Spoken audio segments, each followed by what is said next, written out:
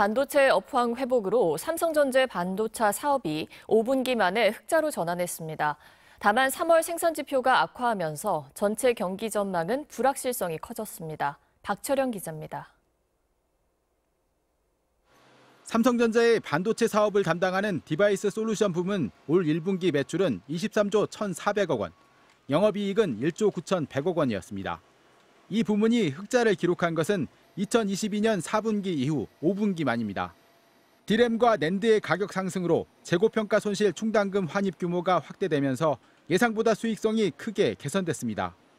삼성전자 전체로는 1분기 영업이익이 6조 6,060억 원으로 작년 같은 기간보다 931.87% 증가했습니다. 기존 영업이익 전망치를 18.1% 상회한 수준입니다. 메모리 사업이 고부가 제품 수요 대응으로 흑자로 전환했고 모바일 사업도 이익을 늘렸습니다. 국가 전체 산업 생산도 늘었습니다. 통계청이 발표한 산업활동 동향에 따르면 1분기 전 산업 생산은 전분기보다 0.7% 증가했습니다. 다만 증가율은 한국은행이 발표한 GDP 증가율 1.3%에는 미치지 못했습니다. 월간 기준으로 3월 전 산업 생산이 4년여 만에 가장 큰 폭으로 줄면서 반도체를 제외한 나머지 산업이 대부분 좋지 않았습니다.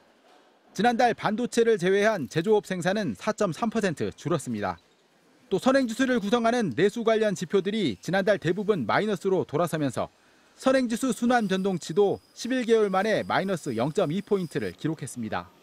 생산 회복세가 반도체에 의존한 탓에 산업 전체로 확산하지 못하고 있고 건설 경기 부진 등으로 내수 개선 전망도 힘을 받지 못하는 것이 원인으로 분석됩니다. MBC 뉴스 박철현입니다.